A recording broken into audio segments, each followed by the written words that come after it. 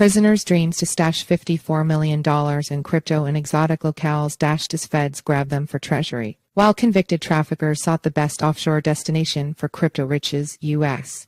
Authorities say they listened in and pounced on the ill-gotten gains from darknet drug sales. Federal law enforcement has seized $54 million worth of cryptocurrencies from the leader of a notorious New Jersey drug ring, U.S.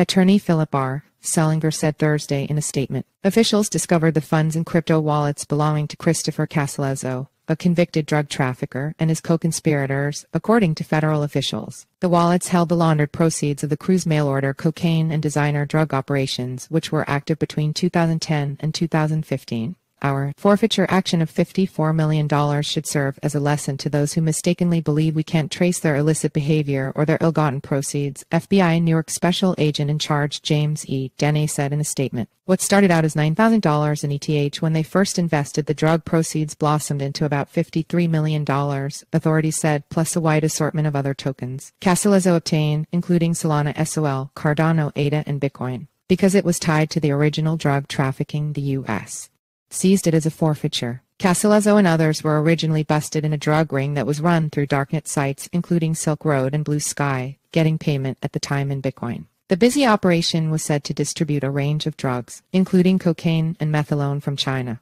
While Castelluzzo was in the midst of serving a 20-year prison sentence, authorities caught him talking about his crypto strategy, including an intention to evade taxes and liquidate his holdings outside the country, the U.S.